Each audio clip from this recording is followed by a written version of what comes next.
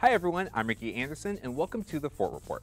It's always been a dream of mine to be a big time movie star, and since Sundance Square is having a movie night, I think this will finally be my chance to make it onto the big screen.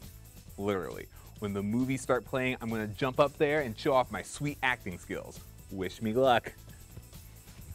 It's me, your friendly neighborhood Spider-Man. With great power comes great responsibility.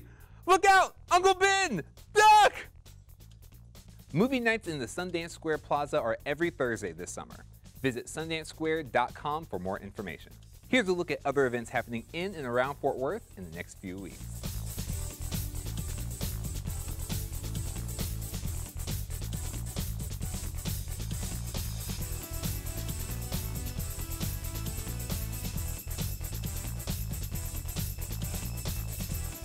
For a listing of more events and city meetings, you can always check the calendar at the city's website.